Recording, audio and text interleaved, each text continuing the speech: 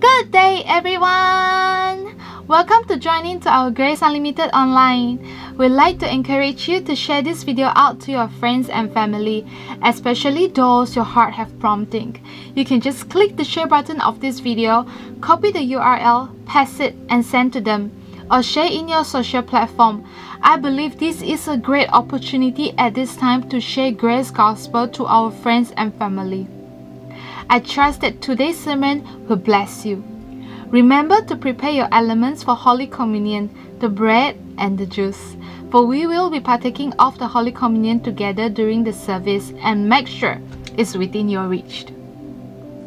You may prepare your tithe and giving to the Lord as an act of worship if you have made Grace Unlimited as your home church. We can receive both digitally or via check, and the detail for your giving are provided in description box down below. Have you followed our social media platform? We like to connect with you. So like our Facebook page, follow our Instagram, subscribe to our YouTube channel, and save our WhatsApp contact number. Let us stay connected and get the latest update from us. I hope that you are blessed by them. That's all from me. Let's move on to praise and worship our Jesus. Good morning, church. Let worship lift the Lord together. Jesus is the way, the truth, and the life.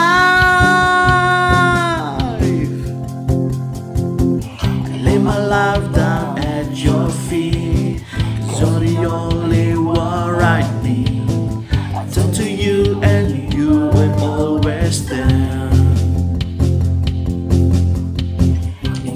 Time, it's you I see. I put you first, that's all I need. Humble or I am, all to you.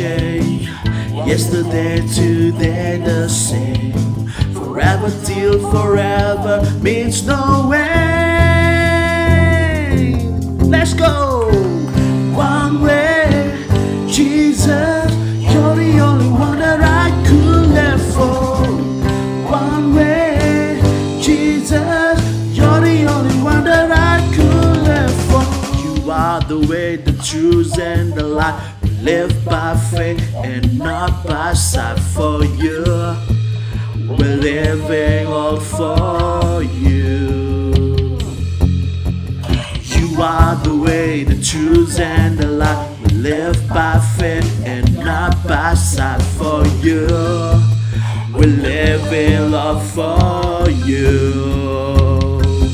Sing it! You are the way, and the light. Live by faith and not by sight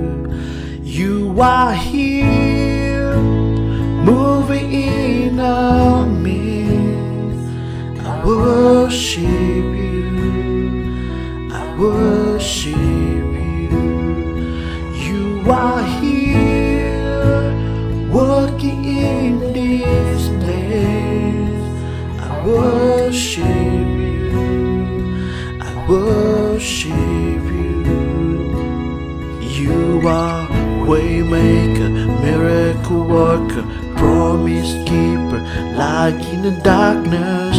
My God, that is who you are. You are here, touches every heart. I worship you. I worship you. You are here, healing every worship you. I worship you. You are here, turning life around. I worship you. I worship you. You are here, mending every heart.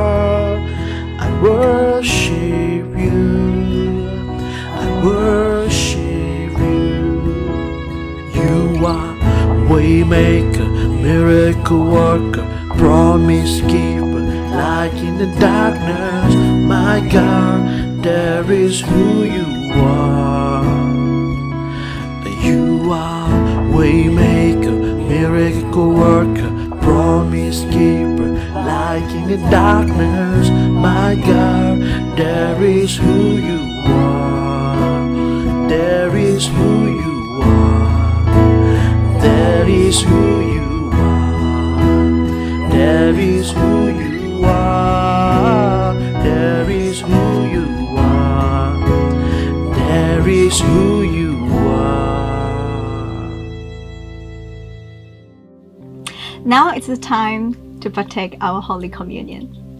Jesus died for us on the cross as a sacrifice to redeem us from the curse of sin. And so we honor the body and the blood of Jesus Christ to remind us of our position of righteousness. Isaiah 53, verse 5. But he was wounded for our transgression, he was bruised for our iniquities, the chastisement for our peace was upon him, and by his stripes we are healed. He has been wounded, crushed in exchange for our wholeness. His resurrected life is now in us, and death has no standing upon us. We have divine health, supernatural youth, and as our days, so shall our strength be. Matthew 26 26. And as they were eating, Jesus took bread, blessed and broke it, and gave it to the disciple, and said, Take, eat. This is my body. Let's partake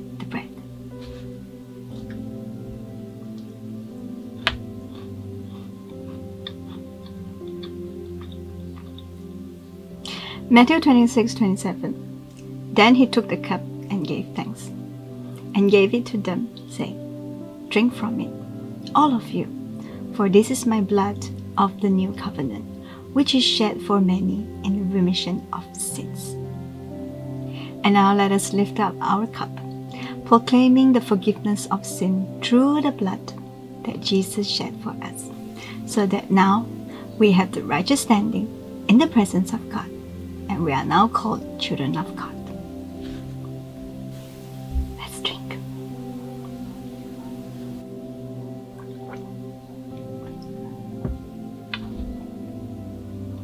Now let us have a moment of worship through our tithes and offering. The Lord has given us blessings upon blessings in every area of our life. We proclaim His death through the Holy Communion. Now we proclaim that He is alive among us through tithing and offering. If you see Grace Unlimited as your home church, you may give via digitally or check.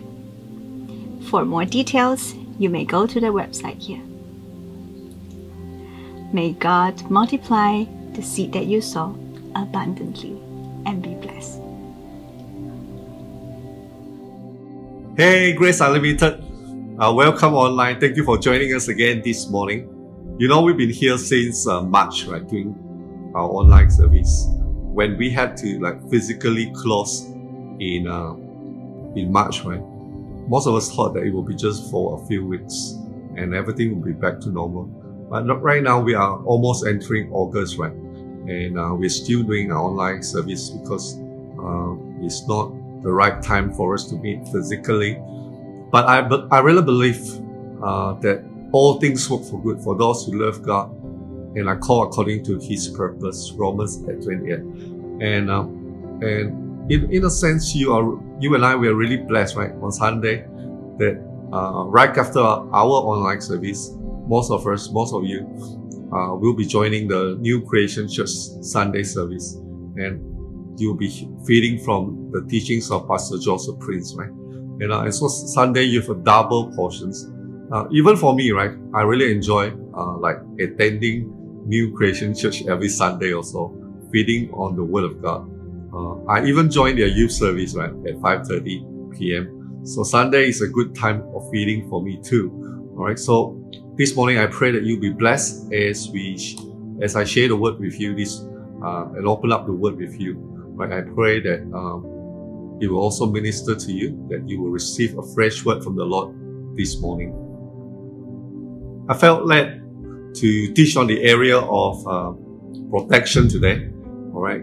Um, I was just meditating on this about the children of Israel in Egypt when Egypt was going through the plagues and the pestilences, when they had the river of blood, deep, deep darkness, um, when they were attacked by the frogs, all right, when all uh, when they're going through all these pestilences, but uh, these things did not come near uh, the children of Israel in Goshen where they, where they live.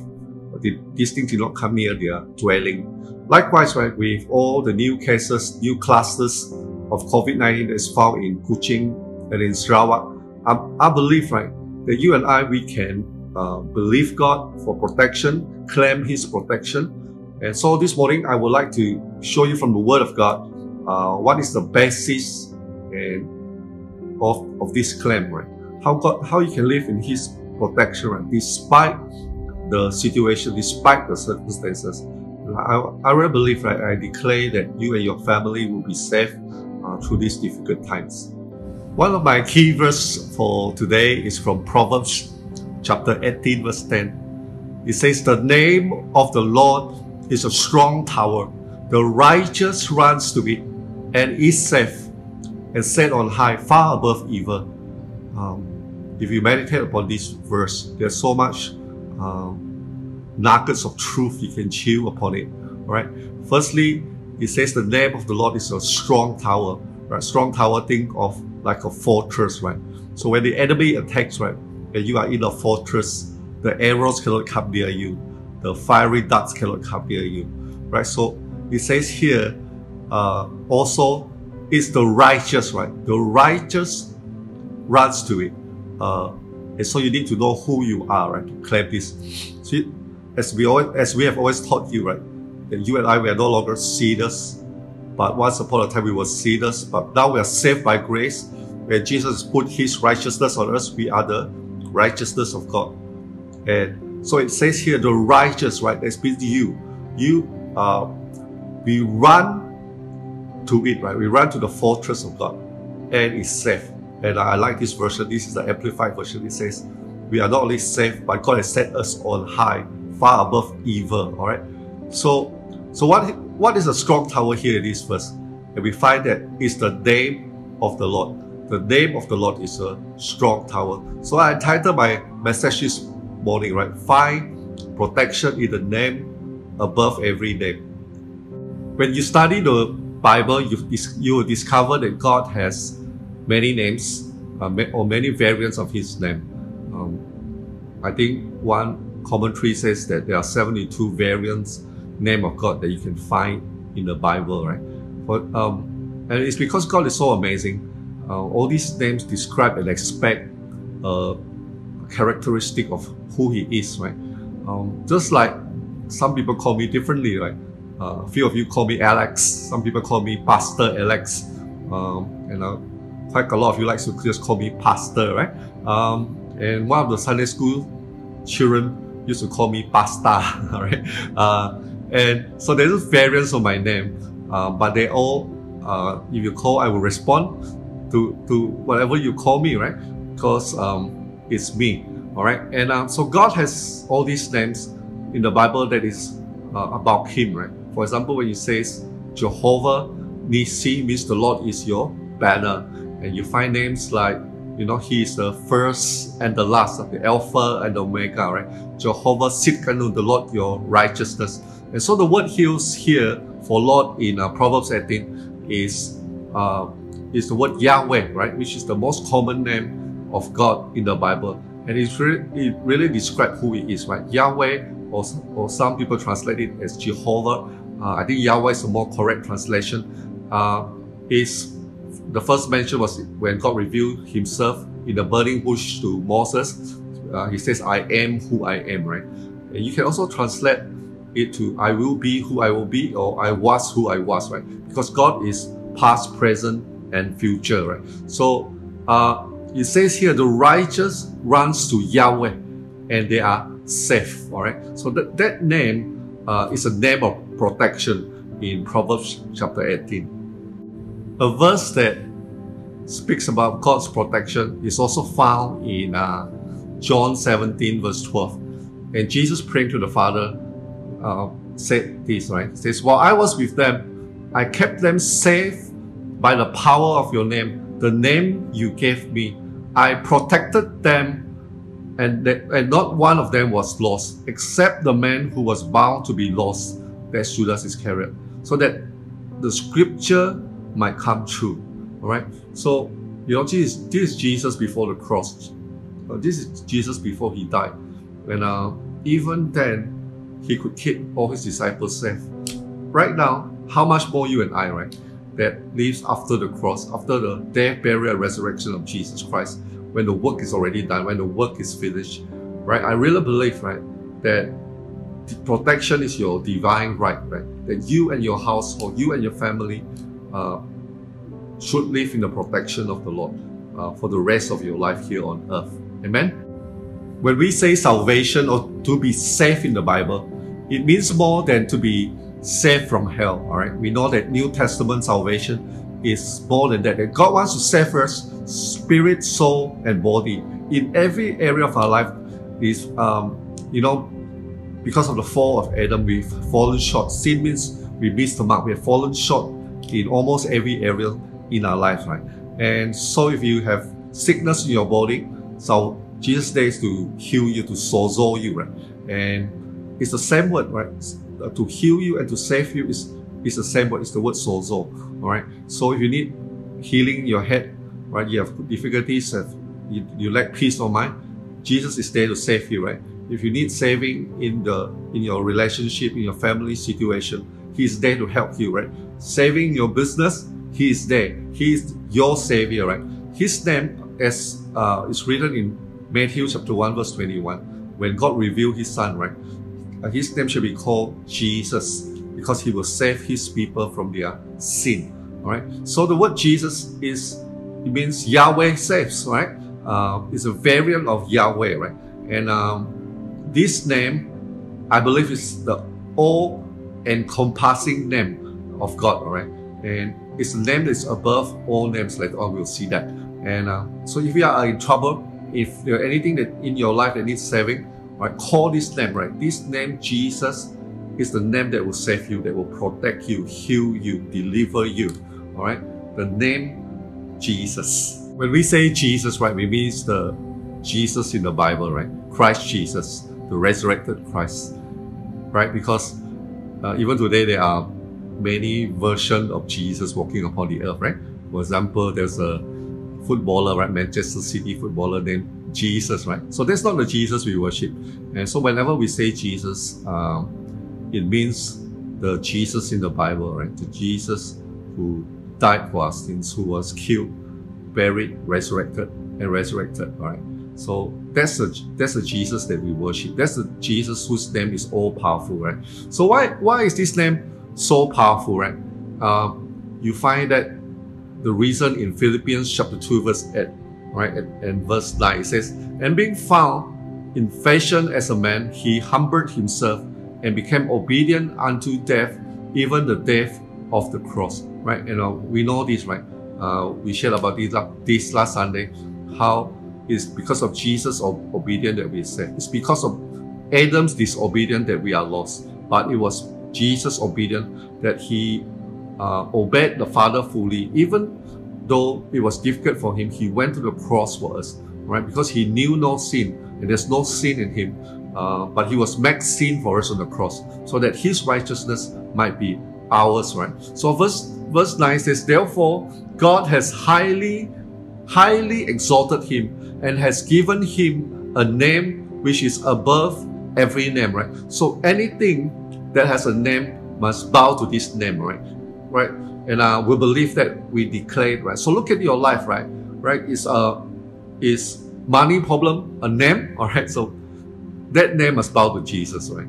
Is sickness a name? Is cancer a name? All right. So cancer must bow to the name of Jesus. As I was just reading this, I also believe, right, that this name is above all the other names of God, right? For example, uh, Jehovah Rapha or, Jehovah Rapha which means the Lord who heals, right? So you don't have to use Jehovah Rapha anymore. Just use Jesus, right? Just call upon Jesus, and that name will heal you. Amen. That then verse 10 says, right? Look at this, right? Isn't this amazing? That at the name of Jesus, every knee should bow of heaven ones, of heavenly ones, and of earthly ones, and of ones under the earth, right? So above the earth, on the earth, and under the earth must bow to this name. Hallelujah. Praise the Lord, right? So I declare to you, I speak to you, right? COVID 19 must bow to the name of Jesus. Hallelujah. Cancer must bow to the name of Jesus, right? Your high blood pressure,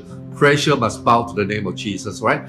The enemies that come against you in your workplace must bow to the name of Jesus, right? Your financial situation must bow to the name of Jesus. For verse 11 says, and that every tongue should confess that Jesus Christ is Lord to the glory of God the Father.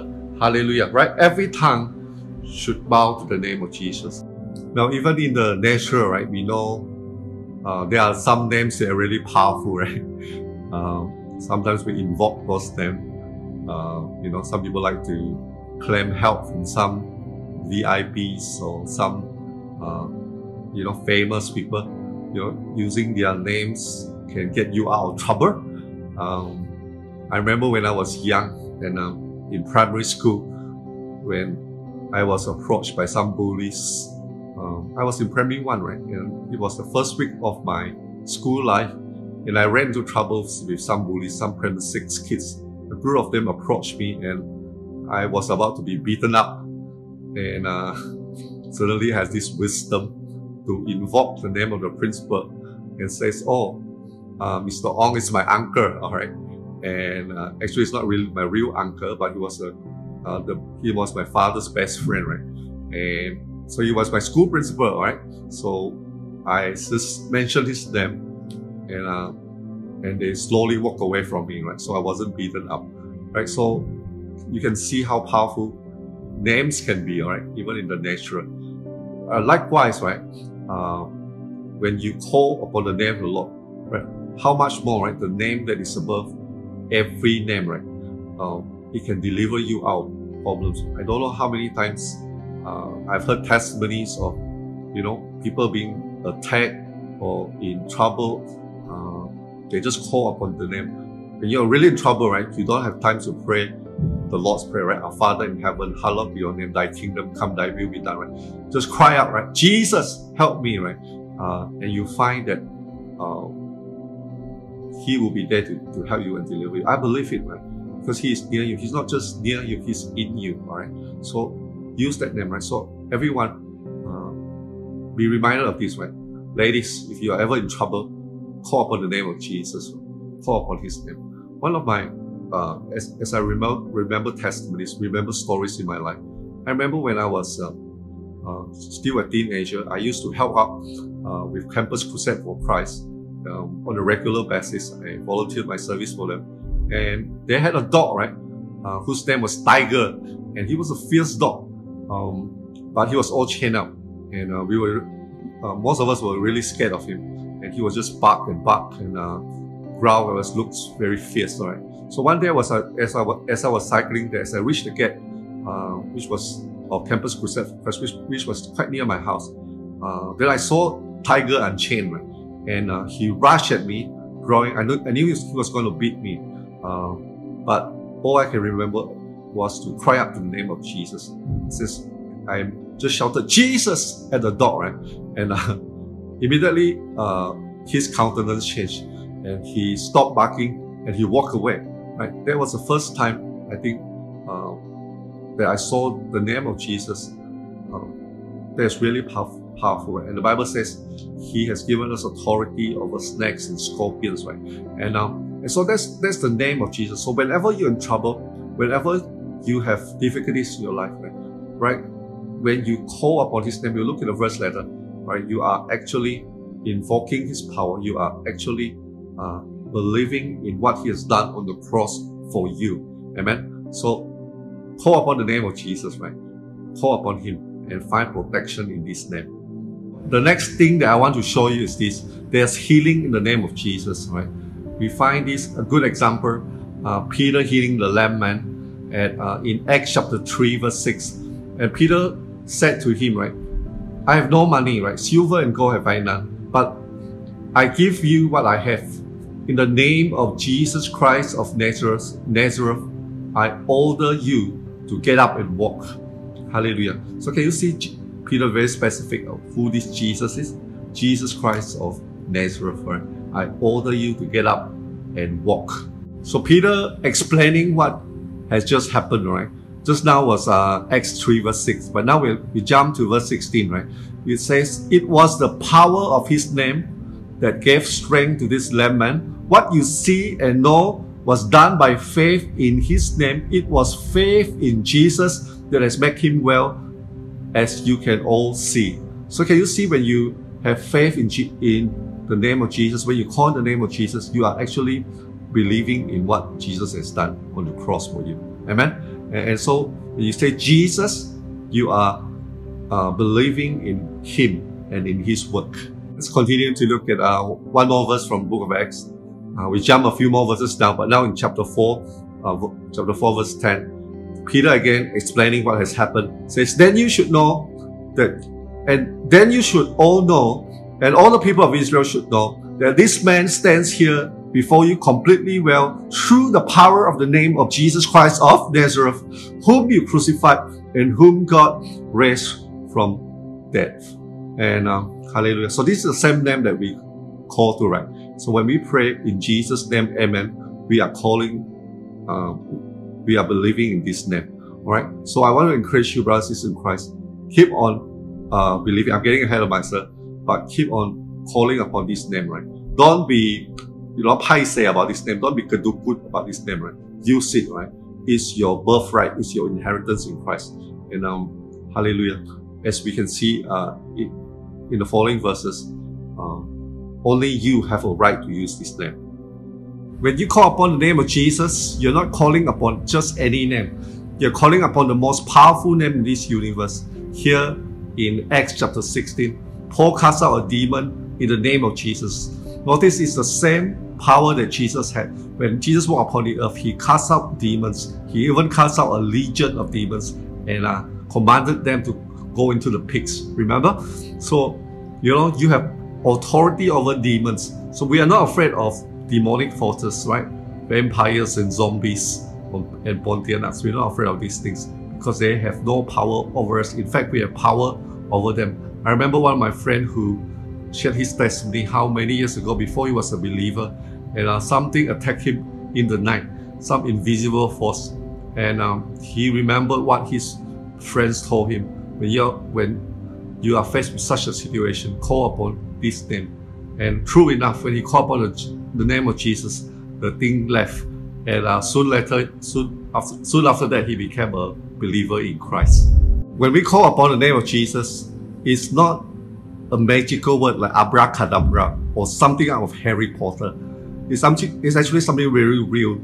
It's actually our birthright, our inheritance in Christ that we are allowed to use this name. That God has given us the authority to use this name. I like this verse from Ephesians chapter 3, verse 14 and 15. It says, For this cause I bow my knee to the Father our Lord Jesus Christ, of whom the whole family in heaven and earth is named.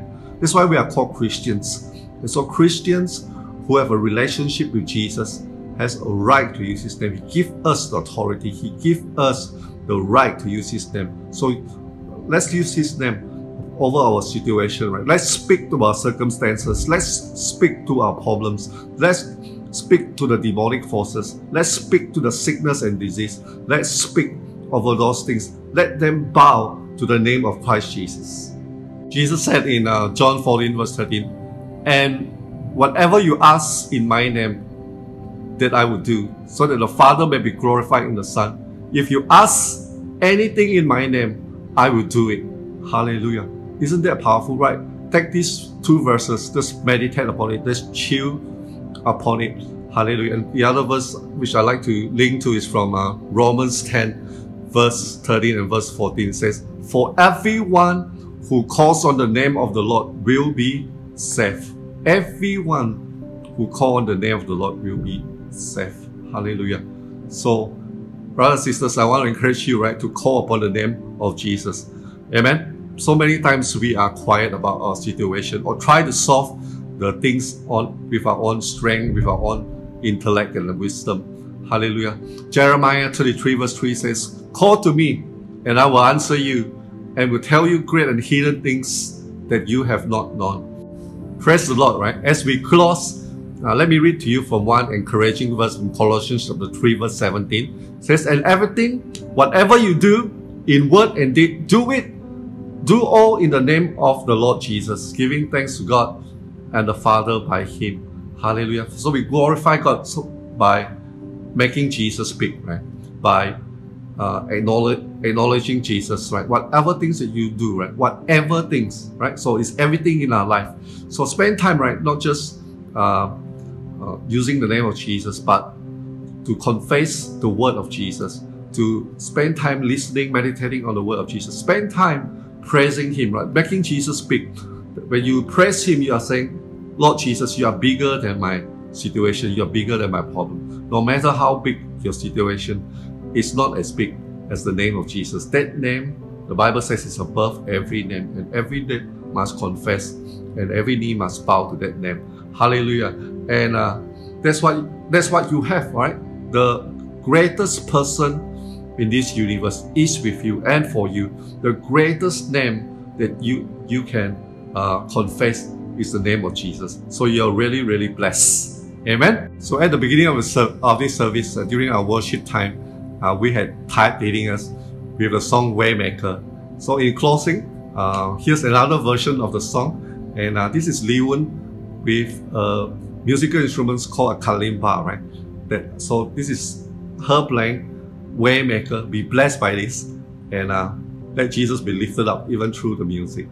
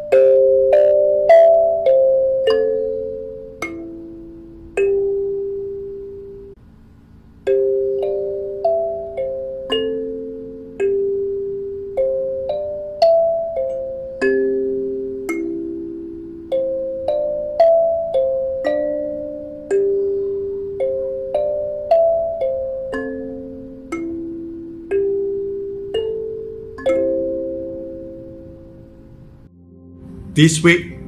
Let Jesus bless you and keep you, protect you. Let Jesus make his face to shine upon you and be gracious to you. This week, let Jesus lift up his countenance and pour forth his peace, his shalom upon you. Right? Jesus says, I will never leave you, I will never forsake you. If Jesus is for you, who can be against you? Hallelujah. So stay blessed, Grace Unlimited, stay protected. In Jesus' name. Amen and amen. Dear brother and sister, thank you for staying with us. I pray that you are blessed through the messages. Let us grow strong in the soil of grace and put our trust in Jesus. He is the one who made you righteous and He loves to bless you. Friend, if you never received Jesus Christ as your personal Lord Savior, I'd like to invite you to make this prayer together with me. It is so simple. All you need is to pray this prayer together with me. Lord Jesus, I thank you for loving me and dying for me at the cross. You cleanse me and pronounce me completely clean through the shedding of your precious blood through the cross. I now receive you as my Savior and Lord.